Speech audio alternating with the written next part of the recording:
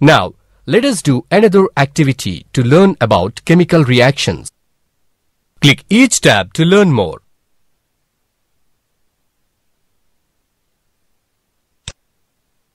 Take 100 ml of water in a beaker.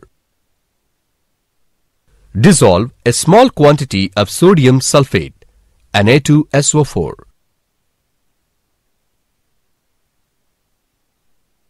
Take 100 ml of water in another beaker.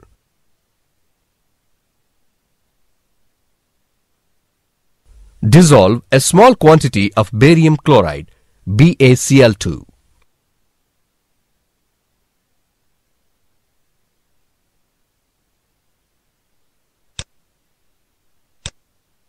There is a change in the color of the solutions in both the beakers. Add the solutions of both the beakers.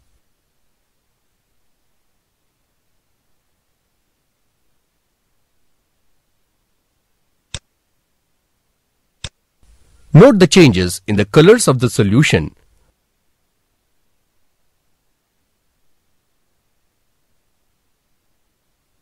Sodium sulfate reacts with barium chloride to give white precipitate barium sulfate.